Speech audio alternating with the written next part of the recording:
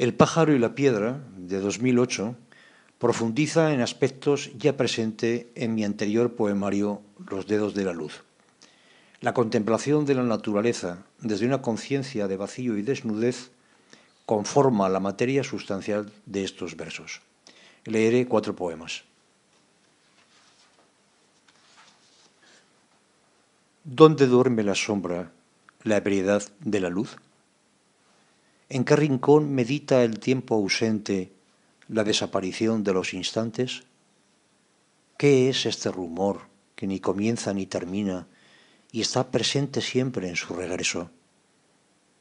Como suspira el Dios, se enciende el día y en el fondo del hombre se despereza el ojo ciego.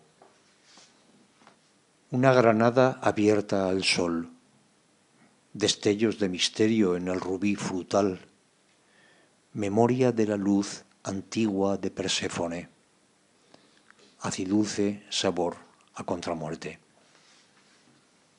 José Ángel Valente in memoriam. Este rostro del silencio en la piedra, los párpados dormidos de la casa, el estallido puro de la luz, el aroma de jazmín en el aire, la sombra en los balcones.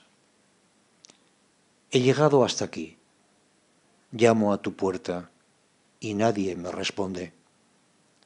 Chorrea el sol en los terrados signos de fuego, cifra de la ceniza, presencia de las desapariciones. Como el vuelo de un pájaro encendido en su disolución, tu voz cruza la tarde el canto vivo de la transparencia desnudo en la memoria, pluma sutil que leve toca el centro, donde se engendra del vacío la palabra.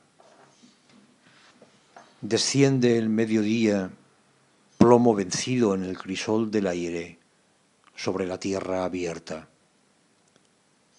Extraña densidad del giro en la quietud. Afueras del fluir, fiebre de ser en los instantes puros. Todo se hace y se deshace en este movimiento del poema.